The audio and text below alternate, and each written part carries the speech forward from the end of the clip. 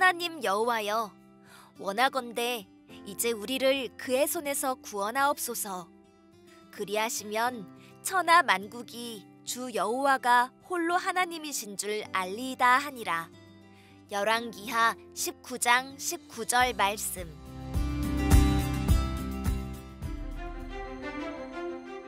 엽! 예. 하나님 외에는 다른 신을 섬기지 말라 하셨던 하나님 말씀을 기억합니다. 저 카리스마 가득한 사람은 누구야? 아, 남왕국 유다의 히스기야 왕이야. 히스기야는 왕이 된 후에 나라 안에 있는 모든 우상을 없애버렸어. 저희 유다는 아수르가 원하는 것을 모두 드렸습니다. 이제 이 나라를 떠나 주십시오. 그깟 금 몇 개를 가지고 떠나라고. 너의 주변 나라들은 모두 우리 아수르의 것이 되었다. 아직도 하나님이 너희를 지켜준다고 생각하느냐? 이제 그만 항복하고 우리를 따르는 것만이 너희가 살 길이다. 하나님, 하나님, 저희는 이제 아무런 힘이 없습니다. 우리를 불쌍히 여겨 주십시오.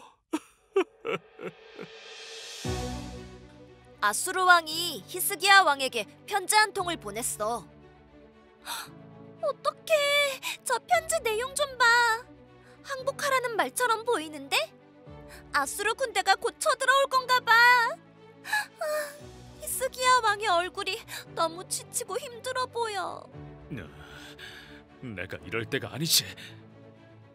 살아계신 하나님, 산헤립이 하나님을 무시하고 있습니다.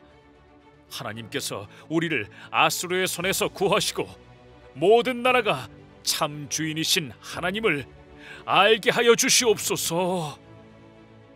왕이시여, 랍사레가 한 말을 듣고 두려워하지 마십시오.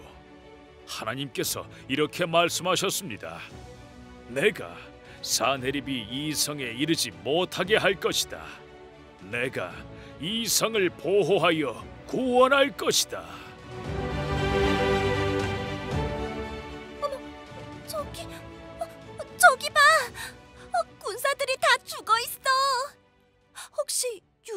아수르 군대에게 당한 거야? 아니 아니, 그 반대야. 이사야가 다녀간 그날 밤 여호와의 천사가 아수르의 군대를 치기 시작했고 다음 날 아침에 보니 18만 5천여 명이나 되는 아수르의 군대가 모두 죽고 말았지. 진짜 반전 반전 대반전이다. 하나님의 말씀처럼 사내립 왕은 예루살렘 성에 한 발짝도 들이지 못했네. 맞아. 하나님께서는 약속을 지키시고 모든 나라의 진짜 주인이 누구이신지를 보여주셨지. 나도 어려운 일이 있을 때 하나님을 의지하고 기도하는 사람이 될 거야. 우리 기도를 들으시고 구원하시는 하나님을 찬양하자.